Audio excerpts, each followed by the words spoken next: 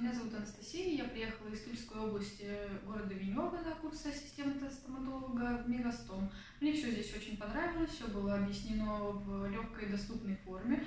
А, мы даже попробовали снимать слепки, а, и я очень надеюсь применить все это на практике. Хоть я работаю всего лишь год в стоматологии, но